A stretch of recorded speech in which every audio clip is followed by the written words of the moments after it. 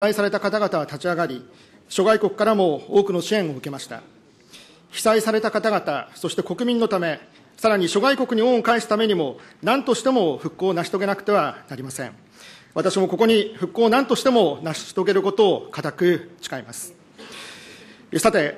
震災復興がどのような形で進むのか、諸外国が注目しています。その中で今問題になっている沿岸部の巨大防潮堤計画ですが、計画を知った諸外国の学者やメディアによって海外にも伝えられ、疑問の声が上がっています。そうした中、おとといの予算委員会で、総理が巨大防潮堤について、見直しを考える必要があるという発言をされたことは、非常に大きく、宮城県の地元住民も非常に喜んでおります。しかし、事業主体である宮城県の村井知事が、かたくなに計画は変更しないと言っております。これに対して総理のお考えをお聞きします。安倍内閣総理大臣。えー、防潮堤のですね、この復旧事業については、まあ、事業主体となる県が、まあ、比較的、えー、発生頻度の高い、えー、十数年から百十、百数十年に一度の津波を想定しつつ、えー、環境保全、えー、周辺の景観との調和や、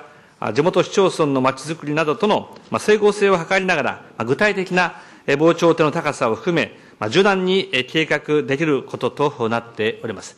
えー、同時に、まあ、震災から時間が経過をいたしまして、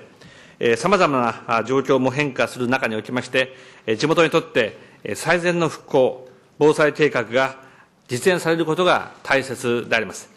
県が地元住民の意見を十分に聞きながら、事業を進めていくことを期待をしております。今申し上げたことをですね、まあ、先般、片山議員の質問に対して私は答弁をさせていただいたところでございますが、まあ、宮城県におきましては、砂浜を砂砂浜を残してほしいとの地元の要望を踏まえ、防潮堤の位置を変更する予定のところや、まあ、地元の意見を踏まえ、防潮堤の高さ等を変更することと、えー、こととしたところもあるなどですね、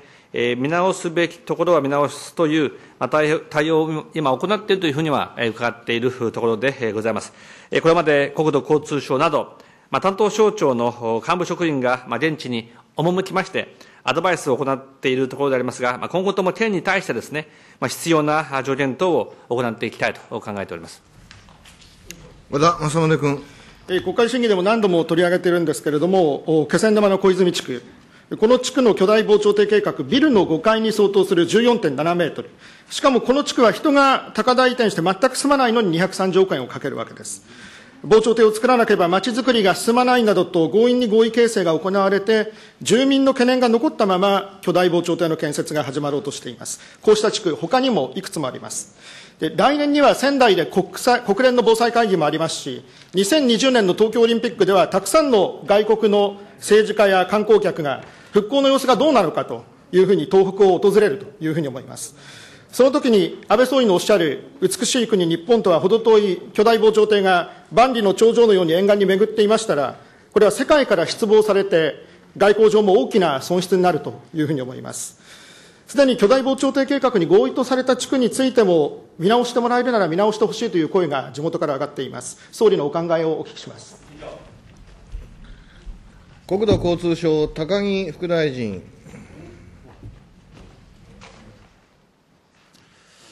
防潮堤の計画につきましては、市町村によるまちづくりの議論などを踏まえて、えー、管管理者である県などが適切に定めるものでございます。えー、県には引き続き丁寧に対応いただくとともに、合意形成がなされた海岸については、速やかに復旧が進むように、国土交通省として最大限の支援を行ってまいります。えー、例えば今、委員ご指摘でございますけれども、気仙沼市小泉地区の中島海岸につきましては、県は住民説明会等を通じて合意形成を進め、えー、現時点では多くの地元住民が事業計画に賛同しており、気仙沼市長から宮城県知事に対して、早期の事業推進について要望があるというふうに聞いているところでございます。また、あの、防潮堤の整備にあたりましては、環境面に配慮をして、欲しいという意見があることを踏まえまして、震災後に形成された干潟の保全対策、あるいはまた、防潮堤背後の樹林の再生、いわゆる緑の防潮堤でございますけれども、そうしたものの整備などの配慮を行うという計画であると聞いているところでございます。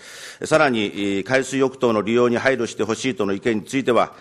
堤防位置を陸側に約200メーターセットバックするとともに、離岸堤を設置して、砂浜の回復を促進する計画であるということも聞いているところでございます。合わせて、堤防から避難路を設置してほしいとの意見を踏まえて、避難路を設置する計画もあるというふうに聞いているところでございます。このように海岸管理者である県に丁寧に対応していただき、合意形成がなされた海岸については、速やかに復旧が進むよう、国土交通省として最大限の支援を行ってまいるところでございます。和田政宗君。まあ、これはあの、総理が美しい国日本というふうにおっしゃっておりまして、これは臨然たる日本ということとともに、やはりこの景観でありますとか、日本の風景、環境というものを受け継いでいくということも入るというふうに思っております。外国にも美しい国日本というのは、轟き渡っているというふうに思いますけれども、これ、やはり沿岸、こう万里の長城のようになりますと、なんでこんなものを作ったんだっていうことになると思いますけれども、総理のお考え、いかがでしょうか？安倍内閣総理大臣。あの、まあ、防潮堤のですね、復旧については、まあ、どういう、えー計画が地元にとって、えー望ましいか、まあ、当然ですね、今、委員がご指摘になったような、まあ、景観、えーまあ、素晴らしいえー世界に誇るべき景観を残していきたいという住民の方々もおられるでしょうし、えー他方ですね、えーやはり、えーまあ、震災直後におきましてはですね、もうとにかく海が怖いという方々もたくさんいらっしゃったのも事実だろうと、えーこのように思うわけでありますが、まあ、十分に、えー話し合っていただきながら、まあ、進めていくことが大切であると考えております。まあその際、えー事情実施主体の件において、まあ、具体的な合意形成の方法も含めまして、まあ、適切にえー判断されるものと考えますが、引き続き県県には、県には丁寧に対応していただきたいと考えています。いずれにいたしましても、地元にとって最善の復復興、えーそして防災計画が実施されることが大切であり、えー政府としては今後とも県に対し、まあ、必要な助言等を行ってまいりたいと思います。和田政宗君。ぜひあの不本不本意に合意形成されたあというところも見直しをお願いしたいというふうに思っております。で震災からの復興と外交という観点では、あ仙台搬送伊達政宗公があ今から400年前、1611年に起きた慶長の大津波の2年後、ヨーロッパに派遣した通